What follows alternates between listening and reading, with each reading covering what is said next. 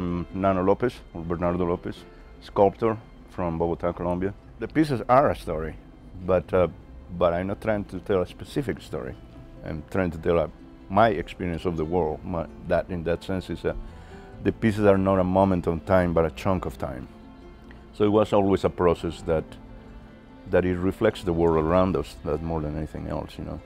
So when people ask me what the, what the numbers and letters mean, I used to say they don't mean nothing, but but not it. You know, they came intuitively to me. They came intuitively at first because I love the busyness of the cities and the, the, the busyness of everything and the letters and numbers. Everything is title and number, and so that symbolism that in the letter itself is a interesting symbol. You know, a letter is a cool thing. A letter or a number is a visually beautiful thing. You know, just on itself. So in that sense it attracted me, and, but it attracted me also because it's related to our history, our, our day-to-day life. And then I started putting into the sculptures at first, in the side of the sculptures, then in the, in the sculpture itself. Through this that they mean civilization, they mean history, they mean literature, mathematics, they mean us.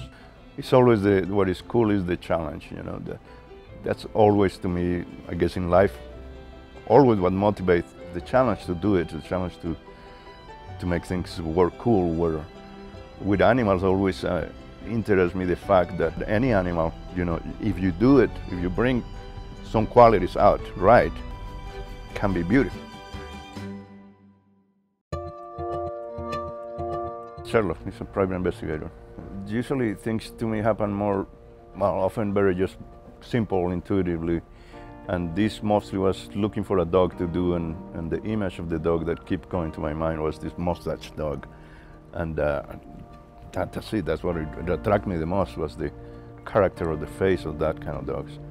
And uh, little by little, got into a private investigator, and don't even remember how, you know, the dogs love to smell, they're good at it.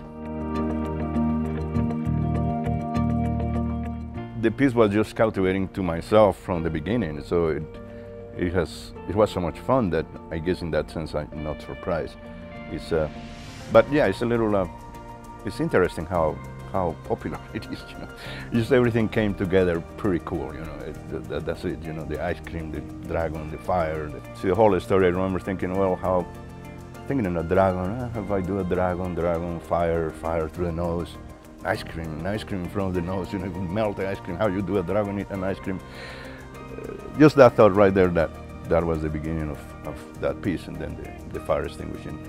And it's just the the piece gives itself for a, for so much fun, you know, they layer it neck things and, and the wings. Uh, it's just a cool piece. I, I want to do more dragons now, of course. What I think the pieces are all about are the, the richness of the world, you know, the abundance and amazing miracle and richness of the world.